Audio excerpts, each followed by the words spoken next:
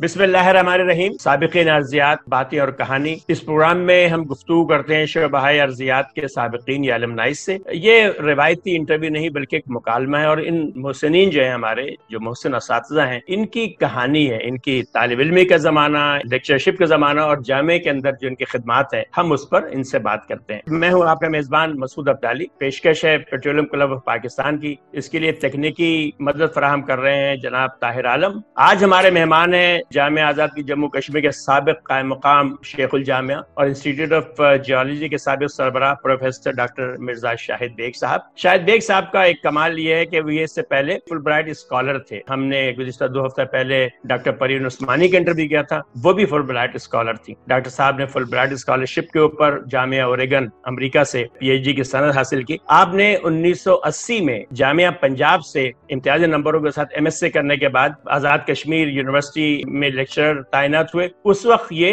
गालिबा Muzaffarabad degree college कहलाता था यानी जामिया नहीं थी। ये बहरहाल एक बड़ा, यानी बड़ा कमाल है डॉक्टर साहब का। वो जामिया में भी, जामिया पंजाब में भी लेक्चरशिप उन्हें मिल सकती थी, लेकिन उसको छोड़ करके अपनी मादर में वापस आए, ताकि उसको जामिया बनाए। एक और जो बात है, वो जो आपने सुना होगा, दो में खौफनाक जलजिला आया था, आज़ाद कश्मीर और खैबर पख्तूनख्वा के उस इलाकों में, बल्कि इस्लामाबाद में भी। उसमें जामिया आज़ाद कश्मीर बुरी तरह मुतासर हुई। लेकिन डॉक्टर साहब ने मायूस होकर घर बैठने के बजाय आर्जी क्लासेस शुरू कर दी इस्लामाबाद में और इस दौरान वो जामिया की तामीर में हिस्सा लेते रहे। तो इस लिहाज से डॉक्टर साहब न सिर्फ़ मेमार है जामिया आज़ाद कश्मीर के, बल्कि मुजद भी दोबारा तजदीद भी उन्होंने की है। मेरा ख्याल है एक ऐसा एजाज है डॉक्टर साहब को ऐसा एहसान है हम सब के ऊपर, जिसको हम कभी फरामोश नहीं कर सकते। डॉक्टर साहब ने छत्तीस साल दरस तदरीस के बाद, दो साल पहले गालिबा, तीन साल पहले, दो हज़ार अठारह में वो रिटायर हुए जामिया से। लेकिन वो रिटायर नहीं हुए, वो कहते ना, छुट्टी नहीं है, मुँह से काफिर लगी हुई। उस्ताद जो कभी घर नहीं बैठ सकता। इसलिए कि हम हमेशा उनको तंग करते रहेंगे। शागिर जो हमेशा उस्ताद के कदमों में बैठा रहता है और ये हमारा एजाज है, यानी तालब का एजाज कि उस्ताद से इस्तेफादा करते रहे। तो आज भी वो बहुत सारे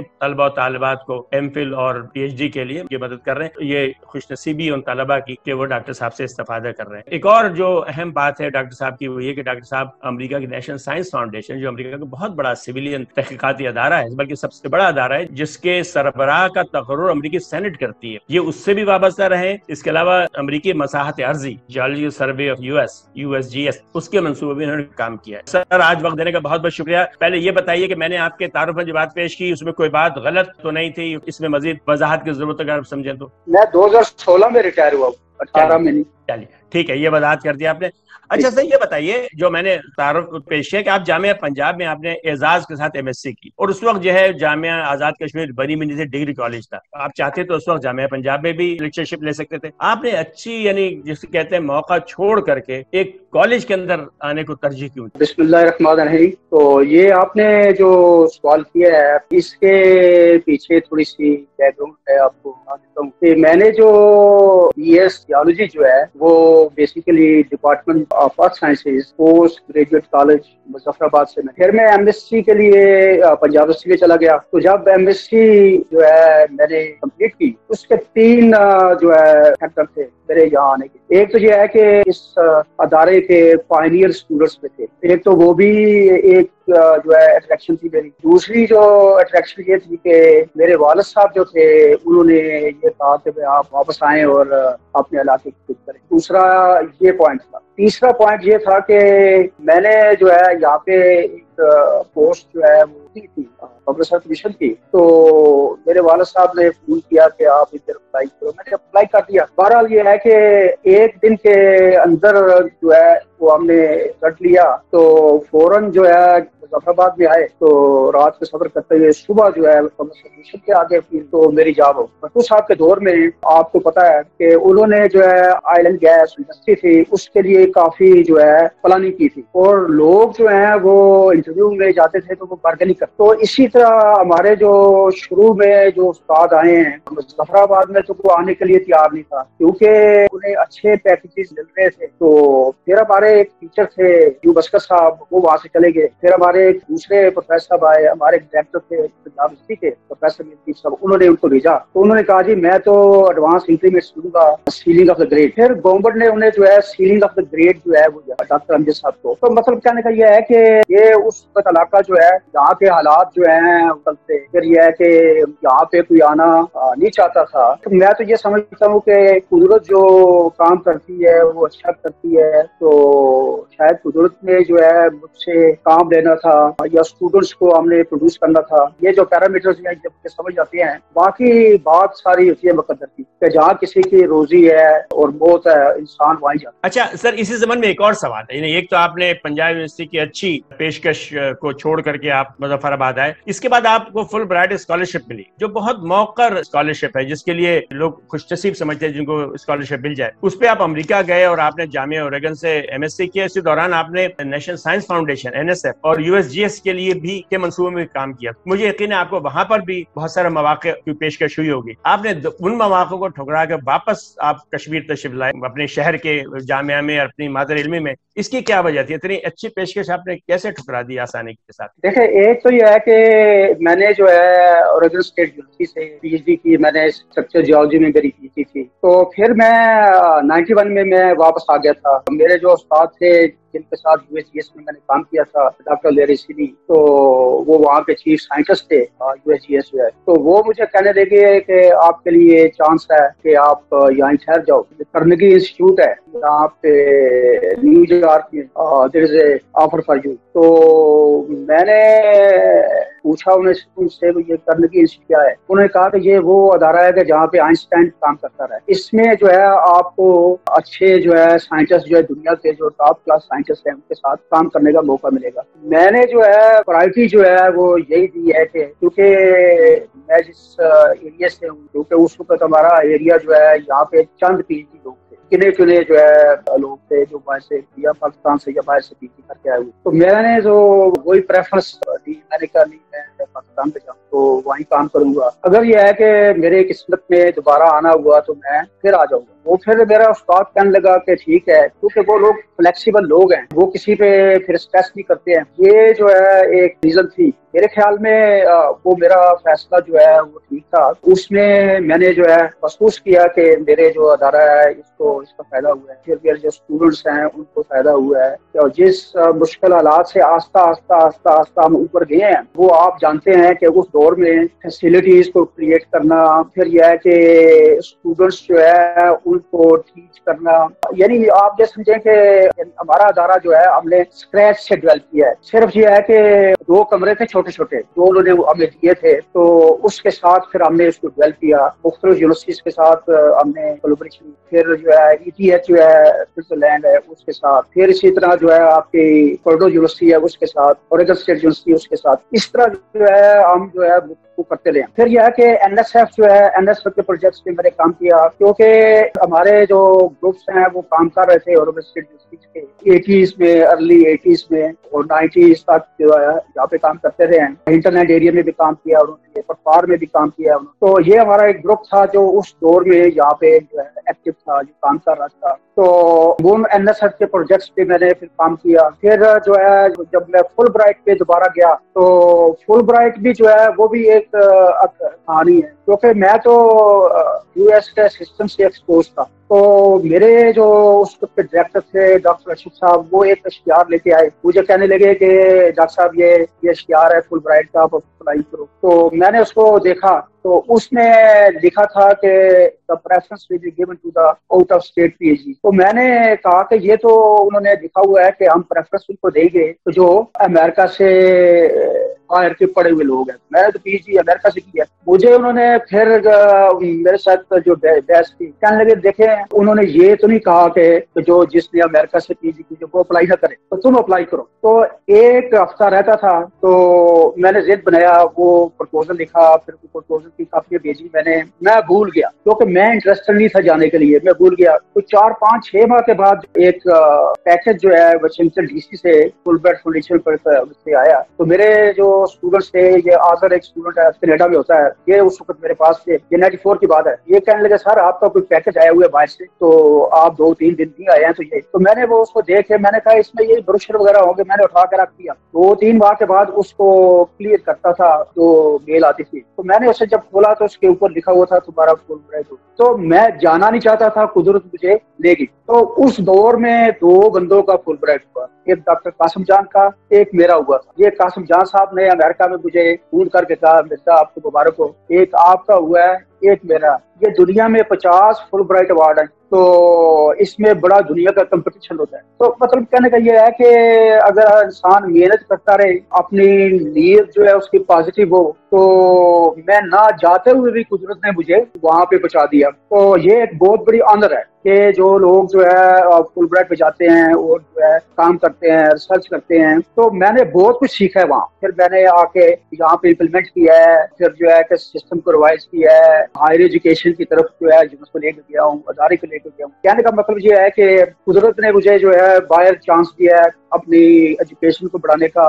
और फिर मैंने ये देखा कि वहाँ पे जो प्रोफेशनल्स हैं वो हर हफ़्ते दस दिन के बाद उनके रेफरेंशियल कोर्सेज हो रहे हैं। मैं जिस बंदे के पास काम कर रहा था मैंने उससे पूछा कि आप तो पीएचडी हो और आप जो है ये साइंटिस्ट हो तो ये आप ये डायरी उठा के फिर जाते हो। वो कहने लगा ये हमारे रिफ्रेशर कोर्सेज हैं। कोई हफ़्ते का है कोई दस दिन का है हम सब अटेंड करते हैं इसको। वो इसलिए अटेंड करते हैं कि हम जो दुनिया के जो लिटरेचर है या दुनिया की जो रिसर्च है उसके पीछे रह जाए। बहुत शानदार। तो अमेरिका में एक सही है कि PhD is a dead book if he is not engage with the recent literature जी आपने बिल्कुल सही फरमाया। ये वाकई ये बड़ा एजाज है कि इतने बड़े एजाज के बावजूद आप जो है वापस तशरीफ़ लाए। अच्छा ये बताइए कि आप जो बानी इस में हैं जामिया आज़ाद कश्मीर के तो वो आपके वक्त के जो उस्ताद होते थे आप समेत उनमें और आज के उस में कोई फ़र्क नज़र आता है? देखें उस वक्त जो आके हालात बहुत टफ थे मुश्किल थी मगर आजकल के दौर में फैसिलिटेशन काफ़ी है। यानी ये इंटरनेट आ गया है, फिर यह है कि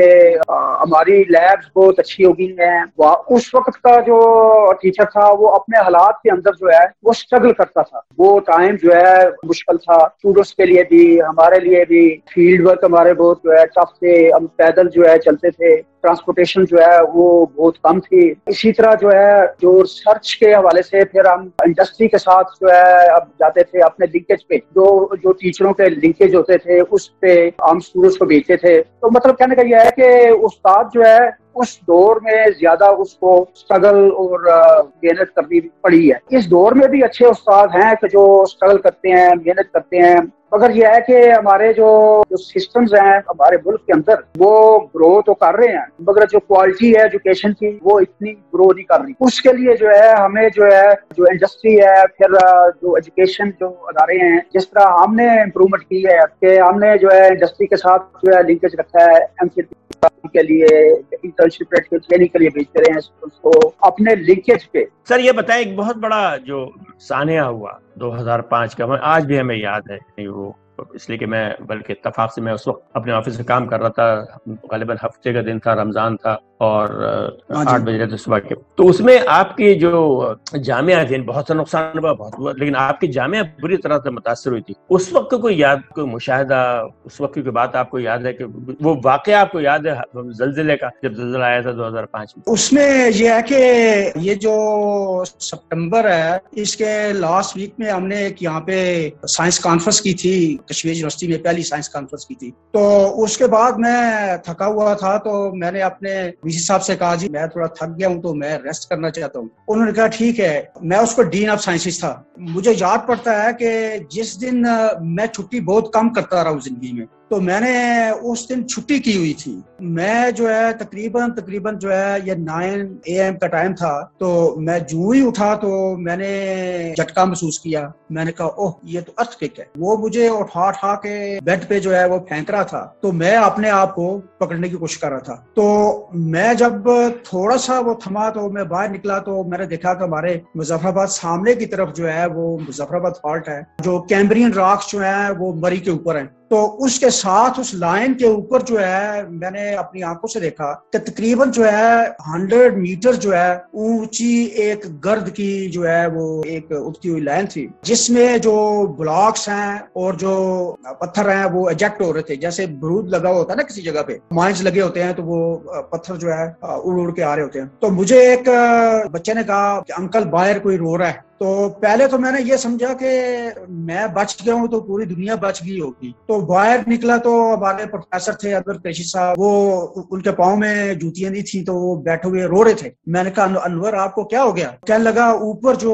कैंपस है, वो सब तबाह हो गई है। उसमें डॉक्टर जो है, रुस्तम जो है, वो दब गया मर गया है। डॉक्टर साबर जो है, वो दब गया है। वो सब सात आठ सौ की क्लास थी, जो सुबह वहाँ ऊपर मेन कैंपस में हो रही थी। तो मैंने जो है, अपने छोटे भाई को कहा कि मेरे बच्चों को देखो, वो वो भी कहीं हो। तो मैं जा रहा हूँ। मैंने अपने बच्चों को वहीं छोड़ा। वो अल्लाह ने किया कि वो जो है, मैं किसी के बच्चों के लिए भागा। तो अल्लाह ने मेरे बच्चों को भी महफूज रखा। वहाँ जब मैं गया तो मैंने देखा कि पूरा कैंपस जो है, वो रबल्स था। तो उसमें लोगों के आवाज़ें आ रही थी। जो लोग बच के बाहर खड़े थे, उन पे परामर्श था।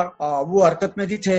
मैंने अपने कुछ जो साथी थे, उनको जाके गुस्सा किया। मैंने कहा, तुम अच्छे इंसान हो। तुम खड़े हुए देख रहे हो। उधर मेरे कुछ चंद दोस्त थे जो बच के बाहर निकल आए थे। मैंने कहा, ये पकड़ो और ये जो है, यहाँ से पत्थर हटाओ। उन्होंने कहा, जी, कदाल कोई नहीं है, कोई हटाने मैंने कहा, पत्थर हटाओ हाथों से। तो फिर यह है कि लोगों ने जो है, हमारे दोस्तों ने, जो बच्चे बच्चे हैं, उन्होंने पत्थर उठाना शुरू कर दिए। फिर मुझे किसी ने कहा जी के देखें ये आज से तो ये, जो इतना रबल है बच्चे दफन है इसमें प्रोफेसर दफन है इसमें तो आपको जो है हुकूमत के पास जाना चाहिए। मैं और एक दो प्रोफेसर जो है हम अपने चांसलर के पास गए प्रेसिडेंट को पता चला कि वो वो वहाँ आई नहीं है। फिर किसी ने कहा जी आप चीफ सेक्रेटरी के पास जाएँ। चीफ सेक्रेटरी जो है वो नीलम वैली में फंसा हुआ था। फिर वहाँ एक जो पैरे पे बंदा था उसने कहा कि यहाँ पे कुछ भी नहीं है। ये हुकूमत भी सब जो डैमेज हो गई है ये खत्म हो गए हैं ऑफ़िस वगैरह। तो यहाँ कोई नहीं है तो ये कंट्रोल जो है फाइव के ब्रिगेड जो है आर्मी का, ये उसके अंडर है मुजफ्फराबाद। वहाँ हम गए तो वहाँ पे एक जनरल साहब बैठे हुए थे।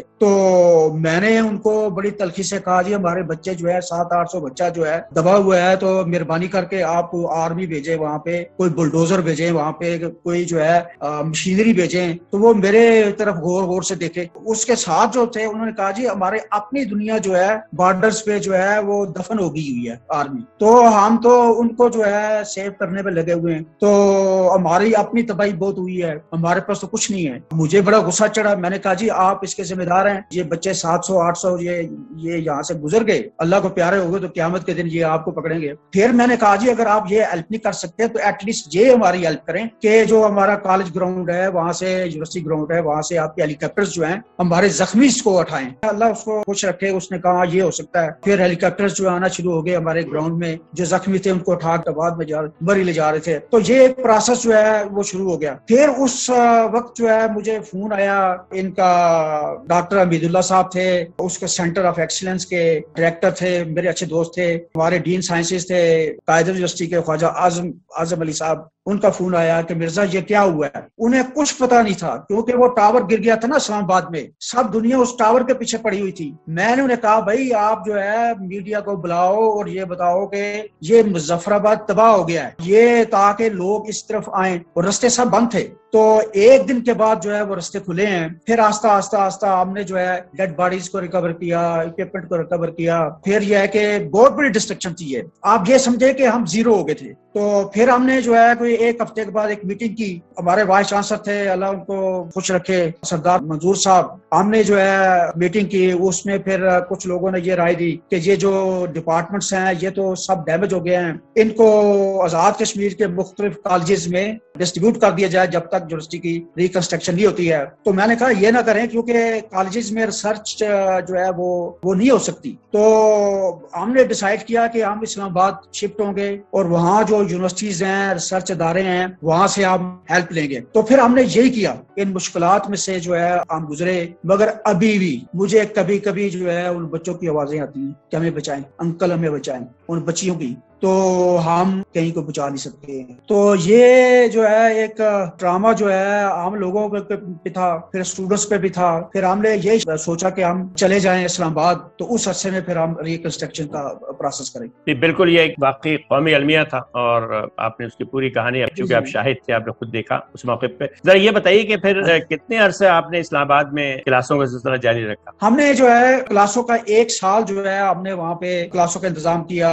उसमें मुख्तलिफ़ यूनिवर्सिटी से हमने केस ली। स्टाफ तो हमारा था। मतलब यह है कि उसमें बैरिया यूनिवर्सिटी थे, उसमें कायदा यूनिवर्सिटी थे, उसमें पुरानी यूनिवर्सिटी थी, उसमें रफा इंटरनेशनल यूनिवर्सिटी थी। फिर मुख्तलिफ़ जो रिसर्च इदारे थे, जिनमें जो है अटाम एनर्जी थी, नलोर था, फिर ये नेस्काम थे, फिर इसी तरह जो हमारी जो आयल इंडस्ट्री के लोग थे, हमारी आयल इंडस्ट्री के लोगों ने हमारी बड़ी हेल्प की जियोलॉजी की एटलीस्ट तो हमने वहाँ पे जो है थीसिस को भी डैमेज नहीं होने दिया, बच्चों की रिसर्च को भी डैमेज नहीं होने दिया। उनकी फैसिलिटेशन की। फिर जो है, मैं जो है, वो रोज जो है, सत्तर, बहत्तर किलोमीटर जो है, वो मैं पूरे इस इस्लामाबाद मंडी में फिरता था। देखने के लिए कहाँ कहाँ पे क्लासे हो रही हैं। फिर मैं रिपोर्ट बनाता था क्लासों की तो अपने वाइस चांसलर को भेजता था। मैं उसको डीन था। तो फिर हमने जो है, बच्चों की जो है, इंतज़ाम किया।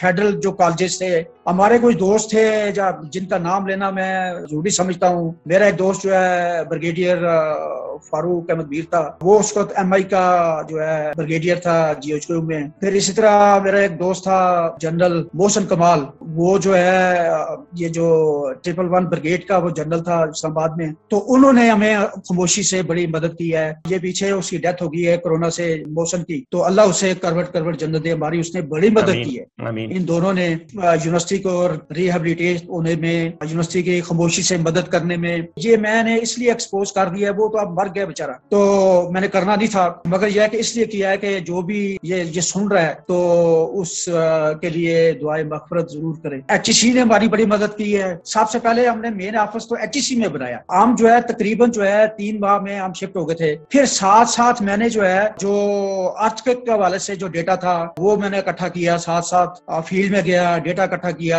आपके यहाँ एक कॉन्फ्रेंस हुई थी पीएपीजी की। उसमें जो है अर्थ के जो है, मुजफ्फराबाद के अर्थ के कवर किया। फिर इसी तरह जो है, पहली कॉन्फ्रेंस जो जीएसबी करवाई थी, उसमें उसको कवर किया। फिर रिहेबिलिटेशन में जो लोग आए हुए थे, उसमें वॉलंटियरली जो है हेजरेशन को गाइड किया। उसमें चाइनीज़ थे जैपनीज थे अमेरिकन थे इटालियंस थे। हमारी अपने भी अदारे थे। तो क्योंकि चीफ सेक्रेटरी ने मुझे कहा कि आप इनको सुपरवाइज करें। तो वो फिर जो हेजरेशन जो हमने की रिहेबिलिटेशन के लिए, मुजफ्फराबाद के, बालाकोट के, रावलाकोट के बाग के और जो बालाकोट सिटी है तो ये वॉलंटियरली जो है हमने इस पे उनको गाइड किया। फिर उसके बाद जो है रिकंस्ट्रक्शन का फ़ेज़ जो है वो शुरू हुआ। उस हादसे से एक ऐसा हादसा जिससे सारा कश्मीर बल्कि पूरी कौम मुतासर हुई। आपने उस हादसे से सबक सीखा उस हादसे के कोशिश की कि उससे बेहतरी आए। फिर हाँ। सबसे बड़ा कमाल ये कि आपने तलबा की तालीम का हर्ज नहीं होने दिया। मुसलसल यानी तालीम जारी रही इसमें जारी के दूसरे अदानों का नहीं होने दिया। तो ये बताइए कि उसके बाद जो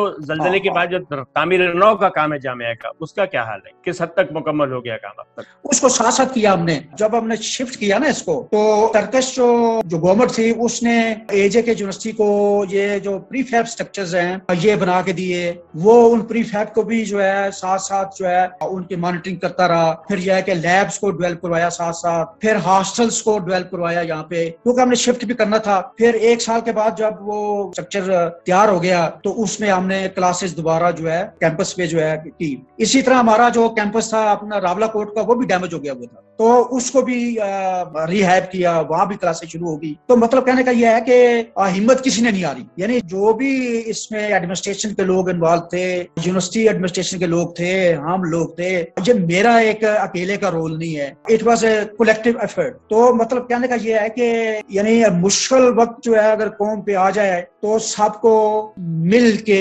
डिटर्मिनेशन के साथ और बेलोस हो के काम करना चाहिए। मुझे चीफ सेक्रेटरी साहब कहने लगे कि आपको हम जो है, वो अनरेरियम देंगे। मैंने कहा, जी, मैं अनरेरियम लेने के लिए तैयार नहीं हूँ। तो इसलिए कि ये मेरे बच्चों का खून जो है, इसमें हुआ है अर्थक्वेक में। तो मैं अपने बच्चों का खून बेचने वाला इंसान नहीं हूँ। मैंने अगर पढ़ा है तो अपनी जो ये धरती है पाकिस्तान, इसके लिए अगर मैं थोड़ा सा अपना इलम जो है, ये कंट्रीब्यूट कर दूँ तो ये मेरे लिए बहुत बड़ी आनर होगी। तो मतलब ये है कि उन्होंने बड़ा अप्रिशिएट किया। जब भी कोई इशू टेक्निकल वो आया तो वो फिर मुझे बुलाते थे। वज़ीर आज़म हो गया, यानी सदर हो गए, जो भी हैं वो, जो भी इशू होता था तो वो उसमें मैं उनको जाके ब्रीफ करता था गाइड करता था। तो ये एक कहानी है अर्थ की और उसके बाद फिर रिहेबिलिटेट करने की। अब ये है कि वो जो हमने फंडिंग ली इनसे सऊदिया से, सऊदिया जो है उससे फंडिंग जो है, उससे अब हमारा नया कैंपस जो है वो छतरन बोर को में जो है हो रहा है। इतनी अच्छी गुफ्तु हो रही है दिल चाहता है इसी मौजूद पर हम गुफ्तु जारी रखें कि ये हमारी कौम की अजमत की अलामत है कि इंतहाई मुश्किल हालात के अंदर हमने जो है वो अपने अपने मिशन को जारी रखा। लेकिन बहरहाल हमें आगे कुछ और सवाल भी करने हैं। ये बताइए डॉक्टर साहब के आपने चूँकि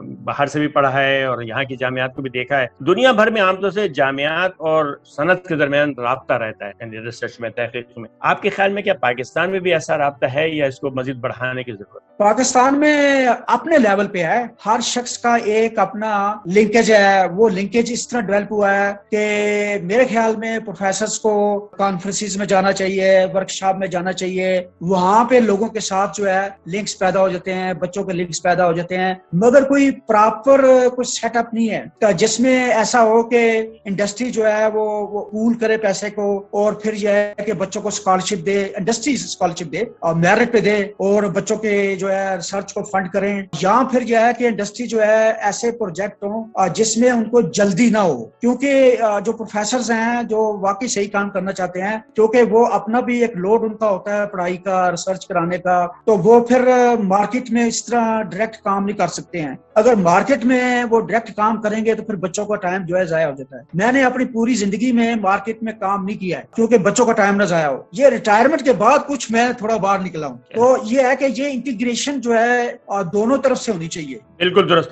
सर, ये बताएँ कि जामियात का बड़ा रोल जो है वो रिसर्च और तहकीक में होता है। आप इंस्टीट्यूट के सरबराह रह चुके हैं बहुत दिन तक। ये बताएँ कि आपने इस दौरान तलबा में जस्तजू और रिसर्च और तहकीक सलाहियतों में इजाफे के कोई खास इकदाम उठाए जिनसे आज का साजा फ़ायदा उठा सके? उसमें जो मेरा अपना एक विजन था, मेरा एक विजन ये था कि सबसे पहले तो जो है कि उस्ताद जो है उसको फैसिलिटेट करो कि उसकी फैसिलिटेशन होनी चाहिए। उसके जो ग्रेड्स हैं, जो रुके हुए जो उसकी माश है, वो उसकी ठीक होनी चाहिए। फिर यह है कि जो साजा है उनको इनकरेज किया जाए प्रपोजल लिखने के लिए प्रोजेक्ट्स बनाने के लिए। तो जब मैं डीन था, तब भी मैंने जो है गाइड की है हेल्प की है। तो मेरे तीन साल के जो, साढ़े तीन साल का दौर है, उसमें जो है हंड्रेड मिलियन रुपीज़ के जो है वो प्रोजेक्ट्स थे प्रोफेसर के पास। मेरा अपना प्रोजेक्ट था जो कि फोर्टी मिलियन का था, जो मैंने मैंने एच से लिया था। उन प्रोजेक्ट्स का फ़ायदा ये हुआ कि हमने एक तो इक्विपमेंट जो है उसको बीफ अप किया। मैंने अपने डायरेक्टरी के दौर में जो है एक ग्रेविटी मीटर लिया, एक करोड़ पे। ये मैं 2003 की बात कर रहा हूँ, पचास लाख का जो है टेरा मीटर लिया, ये ग्राउंड वाटर के लिए। इसी तरह जो है, मैंने जो है जो टेक्निकल लैब डेवेल्प की फिर ये कंप्यूटर लैब्स डेवेल्प की मतलब यह है कि लैब्स को जो है बीफ अप किया। एक तो ये, फिर यह है कि कोर्सेज को रिवाइज किया। फिर यह है कि जो आपकी जो इंटर्नशिप प्रैक्टिकल ट्रेनिंग जो है, इसको कंपलसरी किया पूरी यूनिवर्सिटी में। क्योंकि मैंने खुद जो है, ये ये यूनिवर्सिटी का जो हायर एजुकेशन सिस्टम जो है, उसको डिज़ाइन किया था बाहर के तर्ज पे, जिस तरह अमेरिका में। तो इस तरह फिर यह है कि सबसे पहले MPhil PhD program institute of geology में शुरू हुआ। अब तो यूनिवर्सिटी में जो है, हर डिपार्टमेंट में जो है एम फिर पीएचडी प्रोग्राम है एम एस पीएचडी प्रोग्राम है। यहाँ भी और इस यूनिवर्सिटी से जो दूसरे डिग्री कॉलेजेस थे और जो यूनिवर्सिटी कॉलेजेस थे जैसे मीरपुर है, कोटली है रावला कोट वो तो अब यूनिवर्सिटीज बन गई हैं। इसी यूनिवर्सिटीज के के टूटने के हवाले से। तो मतलब कहने का यह है कि आप एज ए डायरेक्टर या अदारा का जो शख्स है, उसको फ्लेक्सिबिलिटी के साथ और डिटर्मिनेशन डिटर्मिनेशन से मतलब यह है कि वो उसका टारगेट जो है, उस पर वो मज़बूत हो और अपने टारगेट्स को अचीव करने के लिए वो फ्लेक्सिबिलिटी से काम ले। जितनी किसी की कैपेसिटी कैपेबिलिटी है, उतना ही उससे काम ले। और प्यार मोहब्बत से।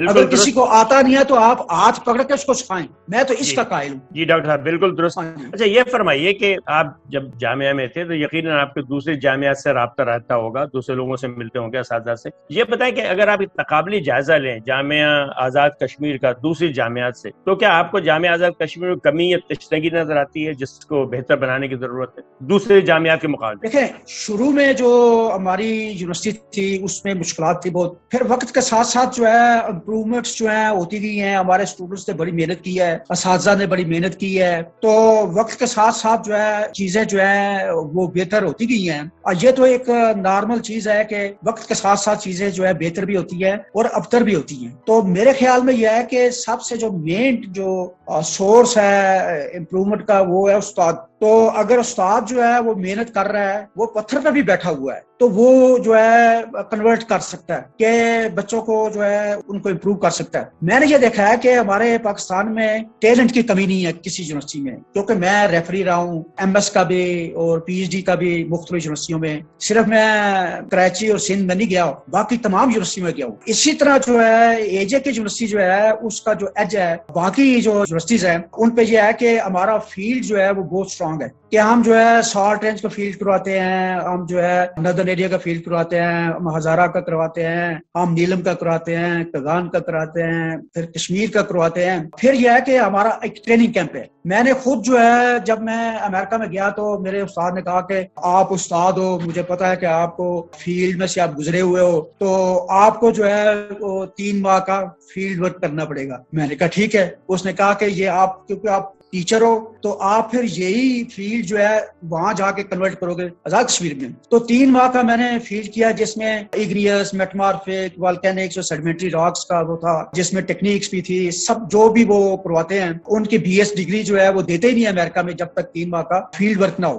तो वो फिर मैंने इधर का डिज़ाइन किया। तो अल्लाह का शुक्र है कि वो जो मेरे प्रोफेसर हैं, जो मेरे साथ काम करते थे, अब वो उस फ़ील्ड वर्क को चला रहे हैं। तो वो हमारा जो है, एक यूनिक फ़ील्ड वर्क है, जिसमें हम जो है structure mapping geological mapping section measurements फिर यह है कि ब्रंटल चेन मैपिंग फिर यह है कि इसमें ग्रेविटी मैग्नेटिक सर्वे फिर हम टेरामीटर जो है ग्राउंड वाटर सर्वे फिर जो टेक्निकल के टेस्ट जो है फ़ील्ड में, ये हम बच्चों को जो है, वो इंटीग्रेट करके जो है, पंद्रह बीस दिन के में करते हैं। फिर जो वो अपने अपने सुपरवाइजर के साथ, वो उनको थीसिस में डाल देते हैं। तो इसमें हमने बी के बच्चे भी ट्रेन किए हैं एमएससी के भी एम के भी और पीएचडी के बच्चे भी, जिनको फ़ील्ड की ट्रेनिंग की ज़रूरत है। बिल्कुल दुरुस्त। सर, ये बताइए, अब जो आने वाला दौर है। ये कह रहे हैं कि ये कार्बन से पाक ईंधन का, यानी कि 2030 के बाद जो है वो दुनिया में पेट्रोल से चलने वाली गाड़ियाँ जो है मतरूक होती चली जाएँगी। इसका मतलब अब जो है मिनरोलॉजी का दौर है। आज़ाद कश्मीर को अल्लाह ने बड़ी मादनियात से नवाजा है। आपके ख्याल में ये नया चैलेंज आ रहा है? मौके आ रहे हैं हमारे लिए, पाकिस्तान के लिए, मिनरोलॉजी को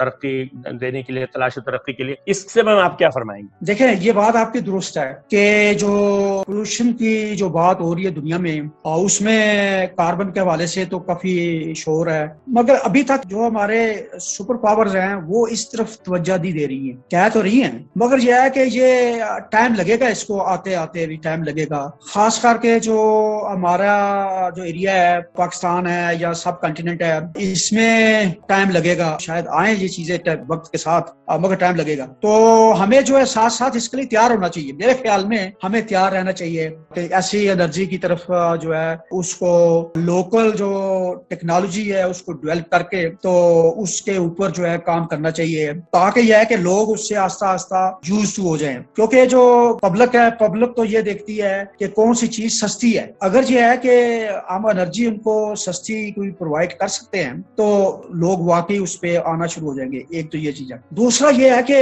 हमें जो है पेट्रोलियम को अभी छोड़ना नहीं है। पेट्रोलियम पे हमने काम करना है। आप मुझसे बेहतर जानते हैं या जो मेरे दोस्त हैं, ये पेट्रोलियम क्लब के कि पाकिस्तान में जो है हमने जो फोरलैंड एरियाज़ हैं, या प्लेटफॉर्म एरियाज़ हैं, ज़्यादा जो आपके फ्रंटल पॉर्ट्स हैं ये सुलेमान के किरथर के, ये सॉल्ट रेंज के, कश्मीर में हमने काम किया है उसमें भी जो बैलेंस कर सेक्शन ड्रॉ किए हैं। हमने देखा है कि चार से पाँच किलोमीटर नीचे जो है डेप्थ में स्ट्रक्चर मौजूद है उनमें जो है सोर्स भी है, उसमें कैप्स भी हैं स्ट्रक्चर भी मौजूद हैं। तो उनमें साइजमिक जो है करने की ज़रूरत है। हमने बड़ा काम किया कश्मीर में तीस पैंतीस साल वहाँ भी मैं काम करता रहा। और जगहों पर भी काम किया। वहाँ भी जो है, अभी जो है, हमारे चांसेस जो है ऑयल के, गैस के, वो मौजूद है। मतलब जो है कि हमें जो है, उसको एक्सप्लोर करना चाहिए। और साथ साथ जो है, नए रिसोर्सेज जो है, जो पोल्यूशन के बगैर है, उन पे भी हमें काम करना चाहिए। एक तो ये। दूसरी जो बात आपने मेटल्स की की है, ये बात आपकी दुरुस्त है कि इस वक्त जो जो मेटल इंडस्ट्री है, उसमें चाइना एक बहुत बड़ा जो है, वो वो खपत है। कि अगर हम अपने रिसोर्सेज जो है, उनको एक्सप्लाइट करें मेटल के तो वो हमारी जो है जीडीपी उससे बढ़ सकती है। एक तो ये चीज़ है। दूसरा ये है कि इसमें फिर हमें कोर्सेज जो है, उनको डिज़ाइन करना पड़ेगा। यानी जो कोर्सेज हैं, उसको मिनोलॉजी की तरफ़ ज़्यादा हमें लाना पड़ेगा। हमने किया है एच e में। मैं एच e का कन्वीनर भी रहा हूँ। जो नेशनल कार्यक्रम कमेटी है, उसका मैं कन्वीनर भी रहा हूँ। 2013 से 17 तक रहा हूँ मैं। तो उसमें हमने ग्रुप्स बना दिए हुए हैं। मिनोलॉजी के ग्रुप्स बनाए हुए हैं हाइड्रोकार्बन के बनाए हुए हैं, फिर यह है कि ऑयल गैस के बनाए हुए हैं। मुख्तलिफ़ जो भी फ़ील्ड हैं, उसमें हमारी जो आइडिया ये है कि जहाँ भी ह्यूमन रिसोर्स जो है मौजूद होगी प्रोफेसर क्योंकि पी एच डी ज़रूरी है मास्टर के लिए और पी और डी डिग्री के लिए। तो जहाँ भी जिस फ़ील्ड के लोग ज़्यादा होंगे, वो सॉफ्ट राख के हों हार्ड राख के हों पेट्रोलियम के हों तो वो फिर वहाँ पे वो डिग्री प्रोड्यूस कर सकते हैं। और फिर एक चीज़ जो ला आ गया है, पहले जो हमारी यूनिवर्सिटी ग्रांट कमीशन थी, उसमें कोई जो है लिंकेज था गवर्नमेंट का। तो वो उनको कहते थे अच्छा जी, ये इस साल आपने जियो साइंसेज में स्कॉलरशिप देने हैं, इस साल आपने फिजिक्स में देने हैं, इस साल फला में देने हैं। वो प्लानिंग खत्म हो गई है। यानी मतलब ये है कि जो आपकी रिक्वायरमेंट है इंडस्ट्री को गवर्नमेंट को बताना चाहिए गवर्नमेंट को हायर एजुकेशन कमीशन को बताना चाहिए, या इंडस्ट्री खुद स्कॉलरशिप डिज़ाइन करे और के जी, हमें जो है इस किस्म के स्कॉलरशिप चाहिए। हम एमएस के लिए पीएचडी के लिए, आपको पाकिस्तान में भी सपोर्ट करने के लिए तैयार है और बाहर भेजने के लिए भी। तो आप उनसे बांट ले बजाय ये है कि मुझे पता है कि इंडस्ट्री कुछ पैसा जो है वो सर्च के लिए देती है तो और सर्च के लिए भी दें मगर यह है कि आप एजुकेशन जो है ह्यूमन रिसोर्स वो अपने हवाले से जो आपकी डिमांड है या आपकी ज़रूरत है, उस हवाले से आप करेंगे तो फिर आपको जो है एक अच्छा ट्रेंड जो है ह्यूमन रिसोर्स मिलेगा, वो पाकिस्तान के अंदर से भी और पाकिस्तान के बाहर से भी। डॉक्टर साहब, ये बताइए कि एक आम तासर है कि तालबात जो हैं, लड़कियाँ जो हैं, तलबा के मुकाबले में ज़्यादा मेहनत से, लगन से पढ़ती हैं। आपके इस बारे में क्या ख्याल है? आपका क्या तजिया इस बारे में? क्योंकि आप ज़ाहिर है कि आपके आपके शागिद तालबात भी हो, तलबा भी हैं। क्योंकि हमारा इलाका थोड़ा सा,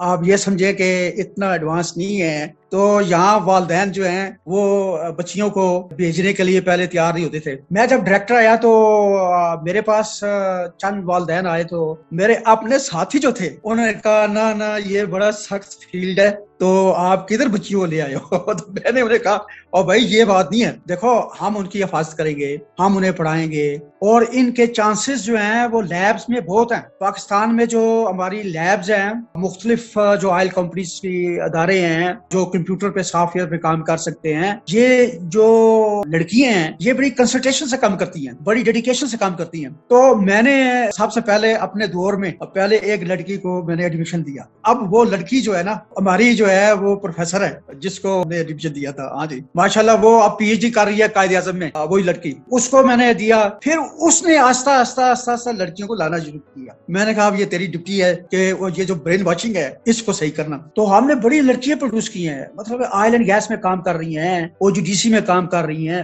मगर ज़्यादा ऑफ़िस वर्क में है सॉफ्टवेयर में है वो, और इसमें काम कर रही है। मैंने फ़ील्ड में देखा है कि, क्योंकि जो स्ट्रक्चर का फ़ील्ड है, इसमें लेग वर्क होता है। मैं पहले दिन जो है, बीस, पच्चीस किलोमीटर लड़कों को चलाता था पैदल, ताकि इनका जो वो है ना डर, वो निकल जाए। तो एक लड़की मैंने देखी, वो चल नहीं सकती थी। मैंने उसे पूछा कि भाई, ये तू क्या कहने लगे, सर, मेरे पाँव में छाले चढ़ गए। मैंने कहा अच्छा फिर तू दोबारा फ़ील्ड पे तुझे मैं साथ दे जाऊँगा। तो वो कहने लगे, नहीं मैं जाऊँगी। उसने क्या किया? वो अपने छाले जो है ना उनको काटा। उनका पानी शनी निकाल के उस पर पट्टी छट्टी करके वो फ़ील्ड में आई। तो मैंने ये देखा कि वो लड़कियाँ जो हैं और वो लड़कों से ज़्यादा डिटर्मन होके काम करती हैं। मैं तो मैंने तो ये देखा बिल्कुल आपने सही फरमाया। हाँ। हमारी खातन जो है वो किसी से पीछे नहीं। खासतौर से आपने जो कश्मीर के बारे में जो हौसला अफजा बात बताई वो बहुत बड़ा नुकसान था बड़ा अलमिया था। लेकिन जिस बेहतर अंदाज में हमने उस अलमिया को एक अपॉर्चुनिटी में तब्दील कर दिया एक नया हमने हौसले के साथ तामीर रनों का काम किया वो वाकई इस कौम के कारनामे जिस पर हम सबको फख्र करना चाहिए। बदनसीबी से इस मुल्क के अंदर जो है वो खुद मलामती कल्चर आम है। हम अपने आप को बुरा भला कहते हैं अपने आप को लानत मलामत करते रहते हैं। लेकिन ये शानदार कहानी है हमारी जिसको हमारे नौजवान नस्ल को मालूम होना चाहिए। आखिर में दिल तो चाहते हैं गुफ्तु जारी रखें लेकिन हर मजलिस का अख्ताम होता है। कभी ना कभी तो लगता है कि हमें पहुँच रहे ये बताइए डॉक्टर साहब जो आपके शोबे अर्जियात है उसके तलबा और इस और वाबस्तगन अर्जियात को पैगाम देना चाहिए मेरा जो पैगाम है ना वो उसके मेरे ख्याल में तीन सेगमेंट होने चाहिए एक स्टूडेंट के लिए एक इस के लिए और एक इंडस्ट्री के लिए। स्टूडेंट्स के लिए